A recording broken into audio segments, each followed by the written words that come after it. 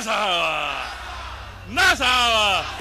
Mulisema ni watu wa mtego ama mulisema ni watu wa Jubilee?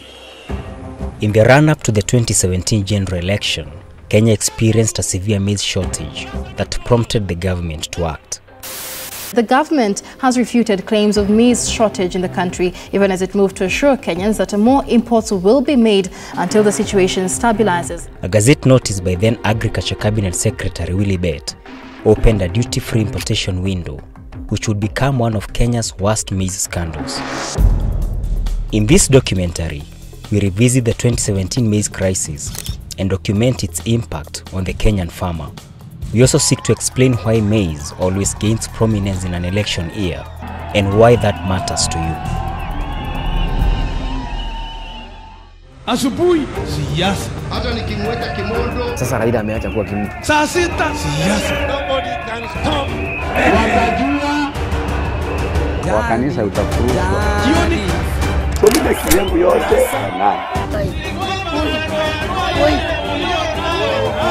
almost trying to show, you know, we can do without these people. wanajulikana wale walikuwa wananunua mahindi kutoka Mexico. walikula Women should not compete for our spaces. So when you are unbogable, you're not scared. Jioni siasa, na imechamuka Nairobi.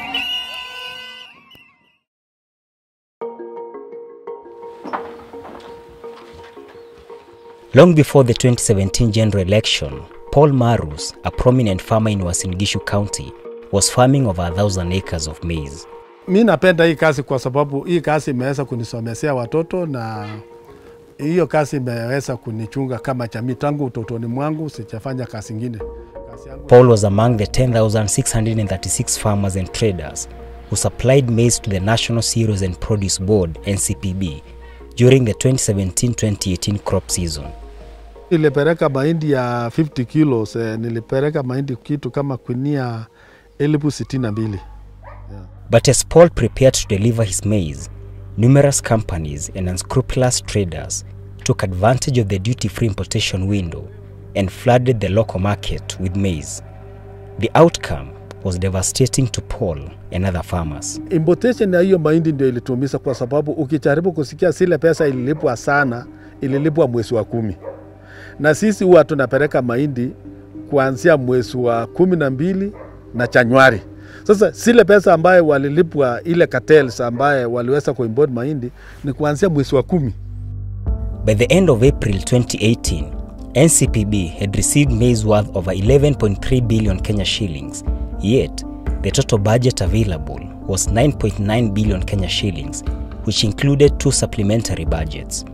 NCPB is said to have prioritized payment to traders and brokers at the expense of Paul and other farmers. As at 25th October 2018, 9.41 billion Kenya shillings had been paid out, leaving a balance of 2.81 billion shillings.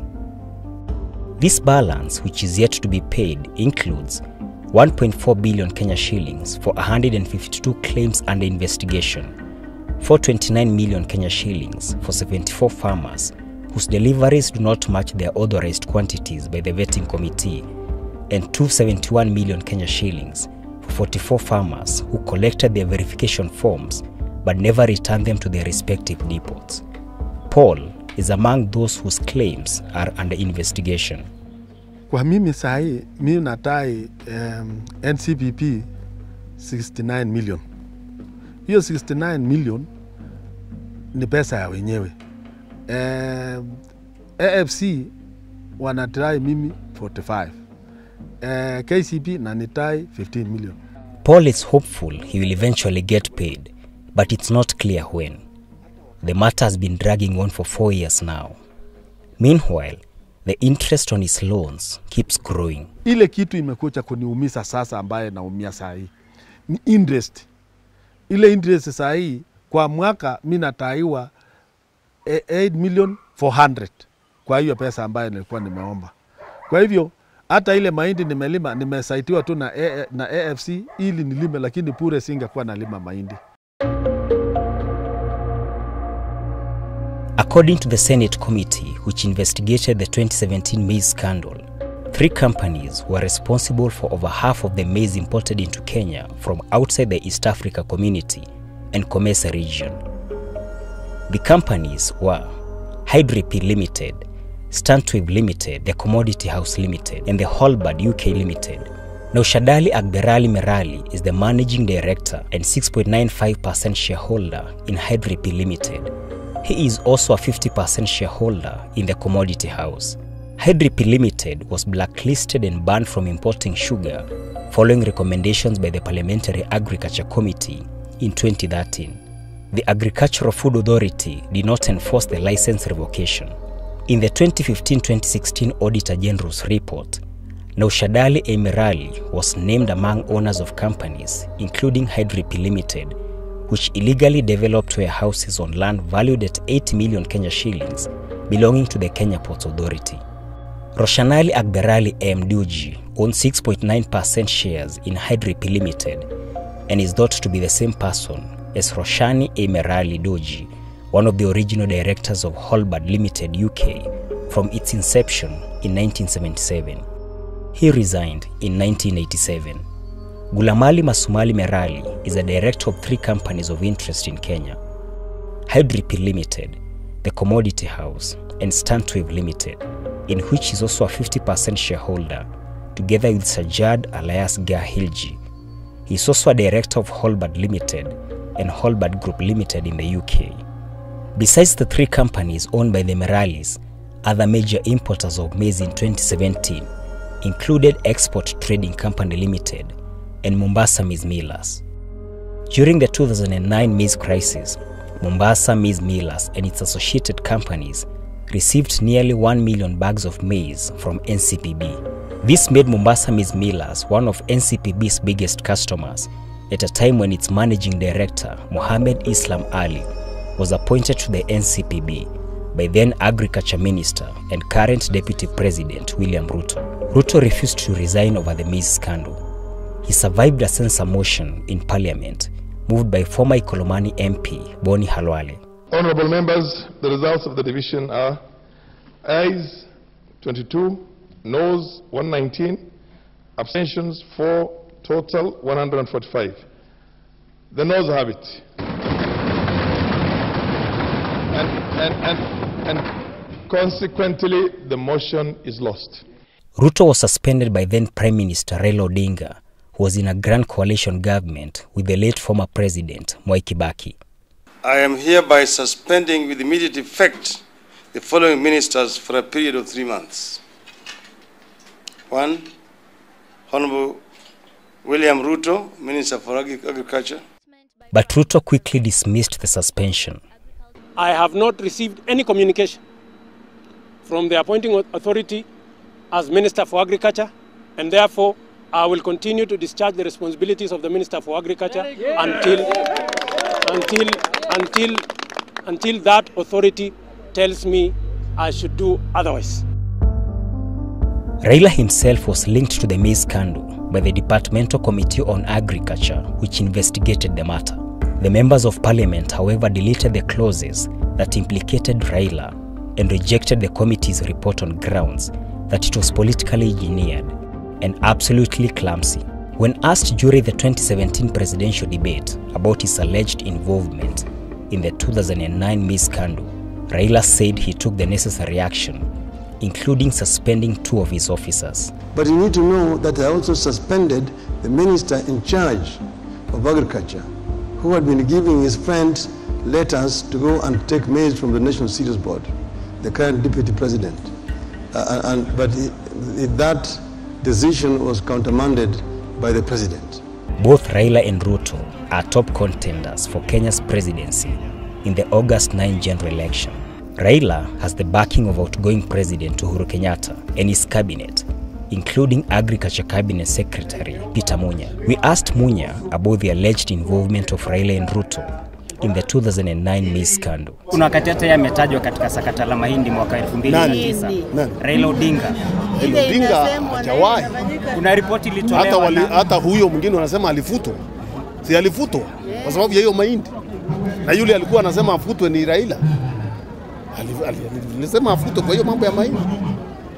alisema, so hawezi kuwa na wahusika na yeye anasema huyo afutwe, so yeye ndiye alikuwa amemweka huko. But even with the past maize scandals, Jonathan Meli, a large-scale farmer in Cherangani, Trans Nzoia County, says the formative years were better for maize farmers. Miaka za hapo nyuma kama wakati ya serikali ya Kibaki eh, ukulima ilikuwa ni mzuri sana. Gharama ya uzalishaji ilikuwa chini, kwa sababu serikali walikuwa wameweka maanane sana kwa upande ya subsidy ya fertilizer na, na mafuta diesel.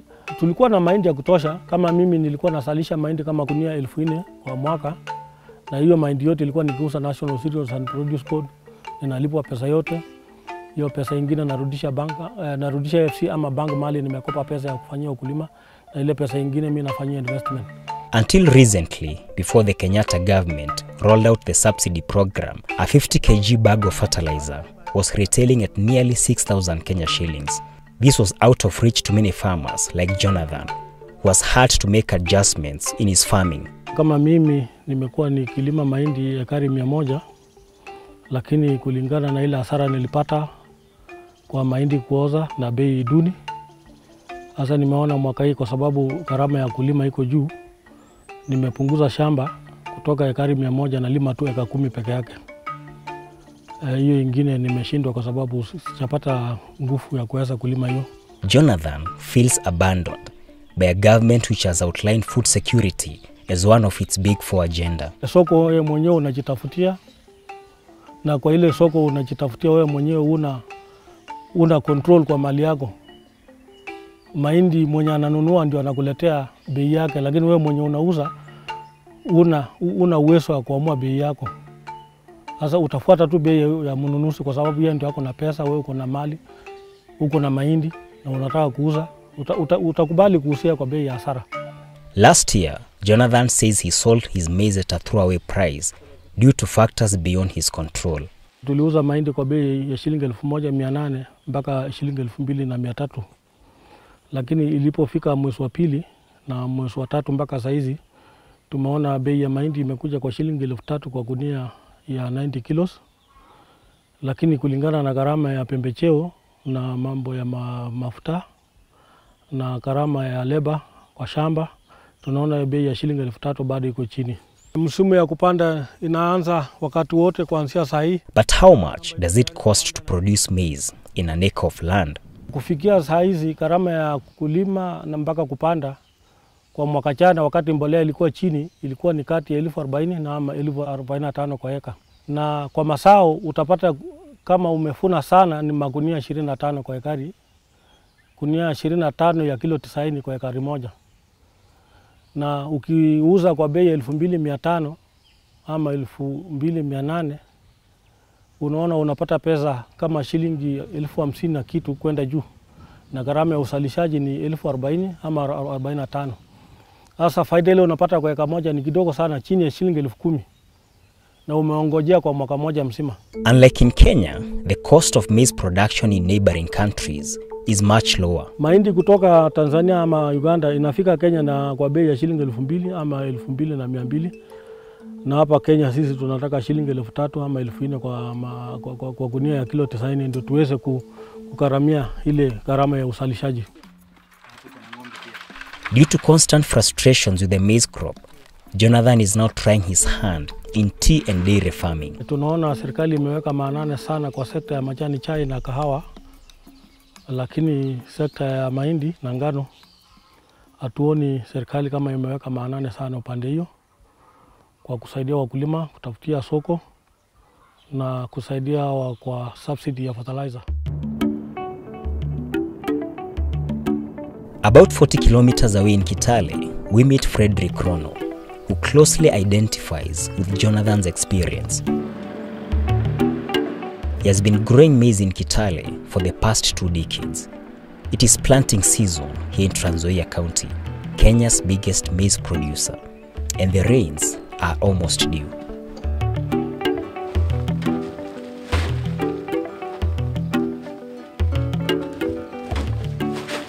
Tunaenda sasa kuanza kupanda hii try planting, kwa sababu tukingojea mvua hatutaweza kupanda na tinga. lakini tunataka kupanda, watu watumie mikono kupanda. Ni hapo eh? To minimize the cost of labor, Frederick has enlisted the help of his family in planting. Hii tunapanda leo, tunatarajia kuvuna mwezi wa nane, mwezi wa nane. Alafu sasa mwezi wa nane tunarudia kulima na tunaweka marakwe.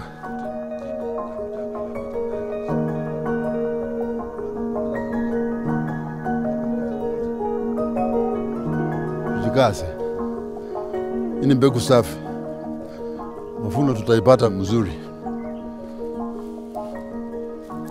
eh. During his long experience as a farmer, Frederick says he has seen it all, including alleged corruption at the National Cereals and Produce Board.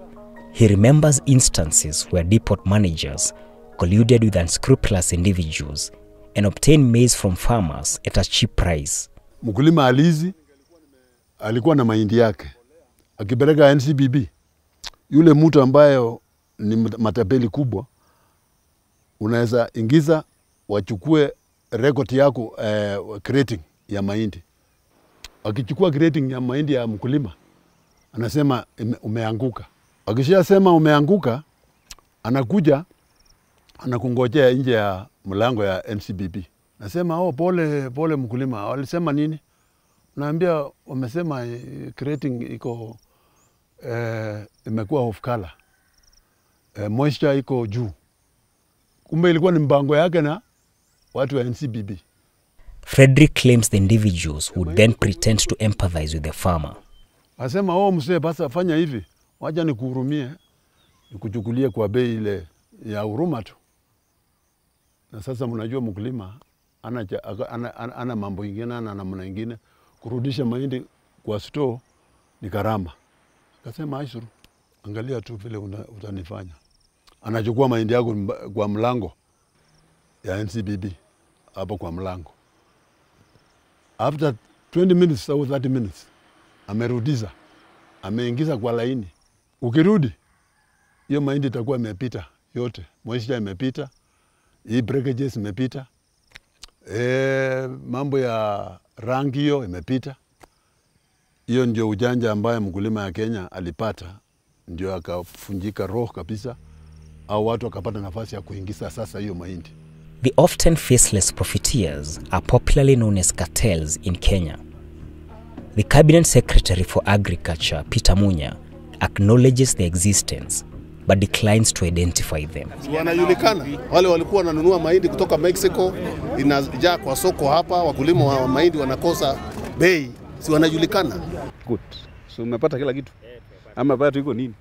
Kipkoril Menjo is the director of the Kenya Farmers Association and better understands the plight of farmers. The major handicap which uh, the farmers have been currently facing is that the government seems not to be paying enough attention to agriculture, despite the fact that it is always pronounced or, you know, said in all forums that agriculture is the backbone of our economy.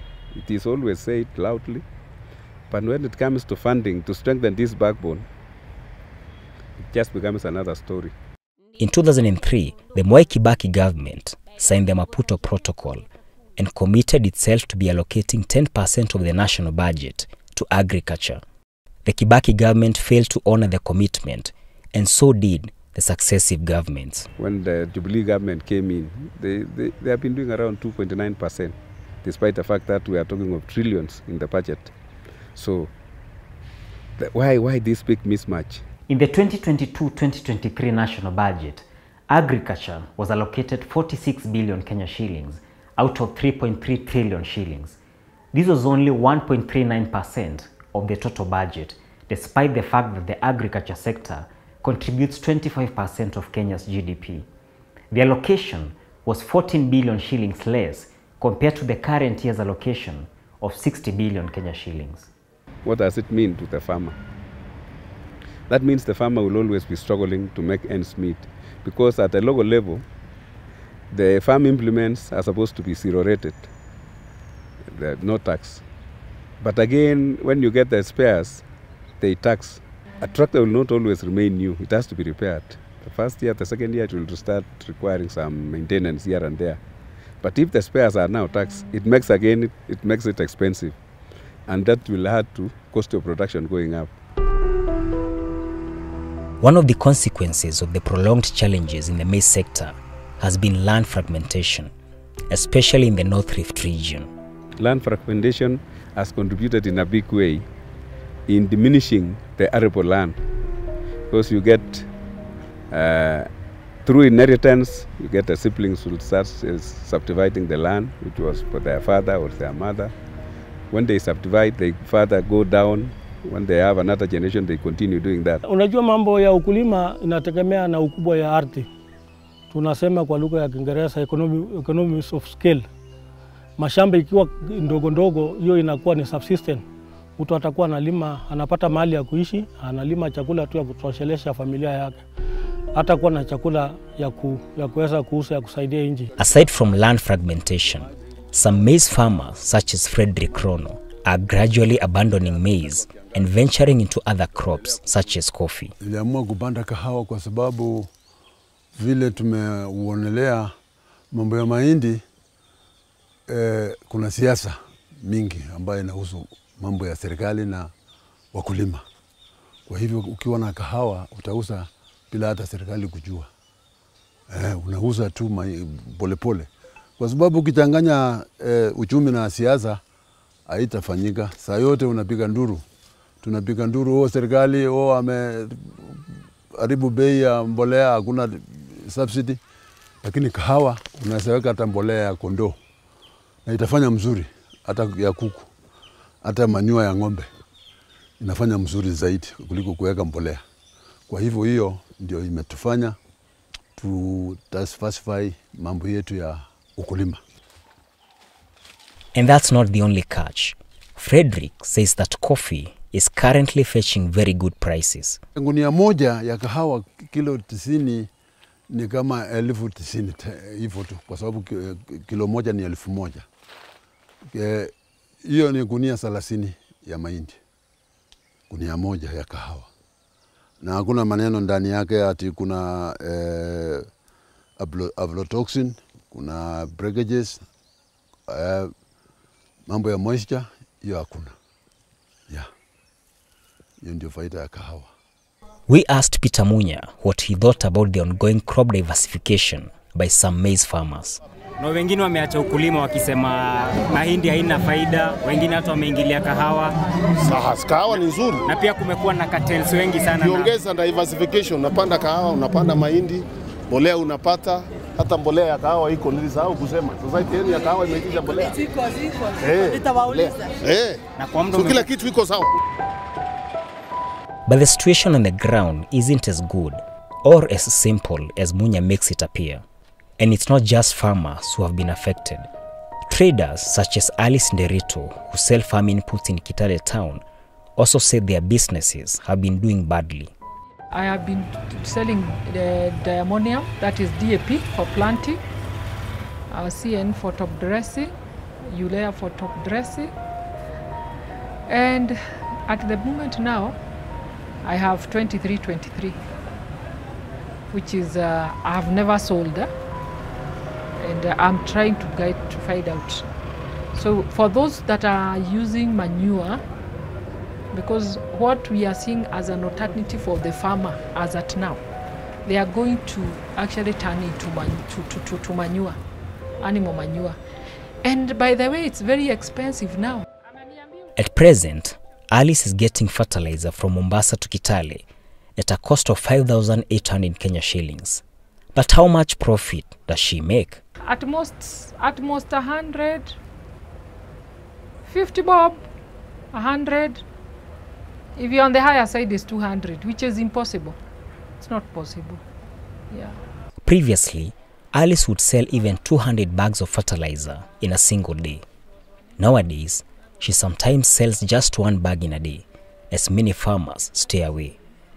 This has forced her to not stock the more commonly used fertilizer brands. I will buy that fertilizer at 6,000 or 5,800 and the most I can make is 100 shillings or 200 shillings.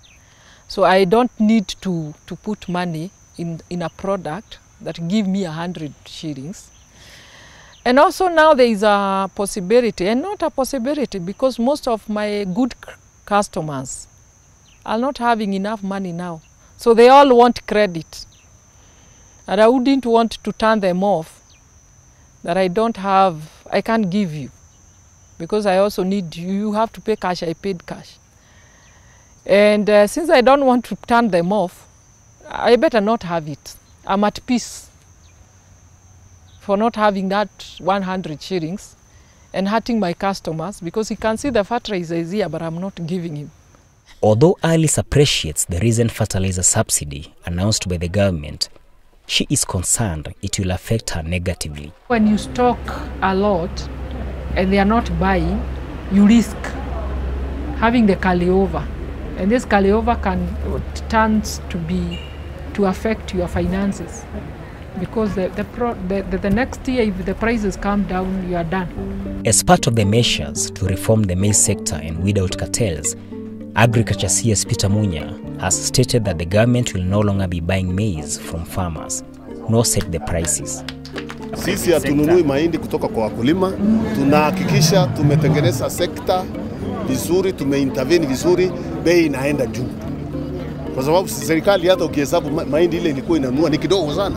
Mahindi ile nyingi unanunua na, na watu binafsi, so kudanganya watu kwa sababu umenunua mahindi kidogo umeweka kwa store, sasa umesaidia, ni ujinga. Mahindi ile mingi huwa inanunuliwa na private sector. Paul Marus, the farmer we met early in the story, seems to have taken the cue from the government. Due to frustration, he stops trading with the government and now sells his maize directly to millers and private companies. Nimekuwa nikiuza mahindi NCPB, nimekuwa nikiuza mahindi unga, nimekuwa nikiuza mahindi hii kampuni ya Buffalo, na nimekuwa nikiuza mahindi hata kwa watu kutoka Nairobi. When we met, Paul had 8,000 bags of maize, which he planned to deliver to a private miller. Hii makunia kwa sababu ni elfu nane nafikiri kama ni elfu tatu tatu mm-hmm.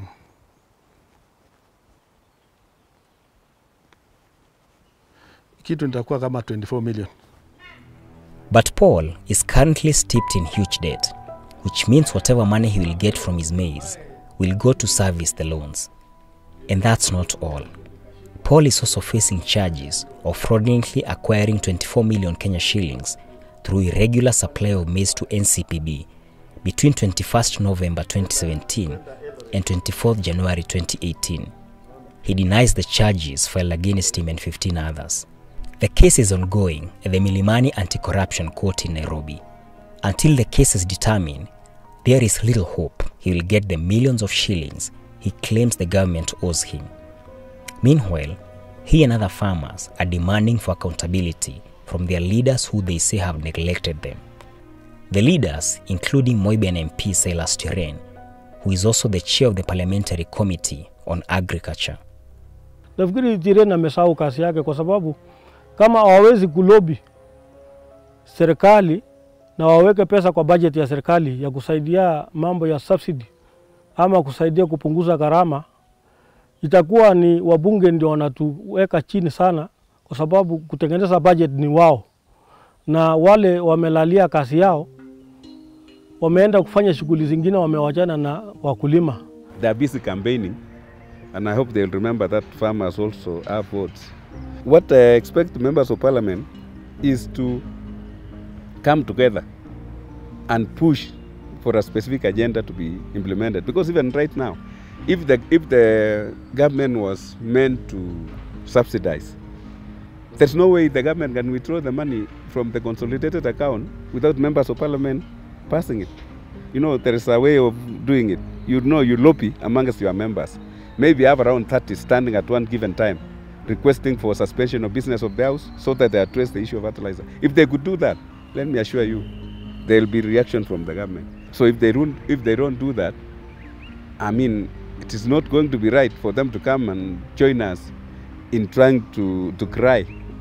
I, mean, to cry, oh, oh, telling the government to assist us, and they are the ones who are still part of the same government. Vile mimi nimeona uongozi ambaye tuko naye saa hii sina moyo e, najaribu tu nilipe mateni, sina moyo. Tutaendelea na ukulima kidogo kidogo mpaka siku ile tutapata serikali ile inaweza kukumbuka sekta ya ukulima, na wakishatengeneza policies mzuri za ukulima, tutaendelea kufanya ukulima kwa sababu hiyo ndio kazi yetu, hatuna kazi ingine.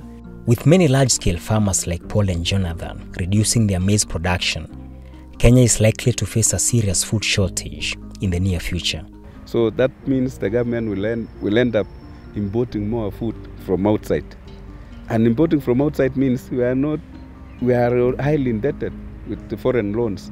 Now that means we are going to get another loan to import food, or rather use the foreign, the mega foreign exchange we should have used for other things like medicine and materials, building materials from outside. We used to import food.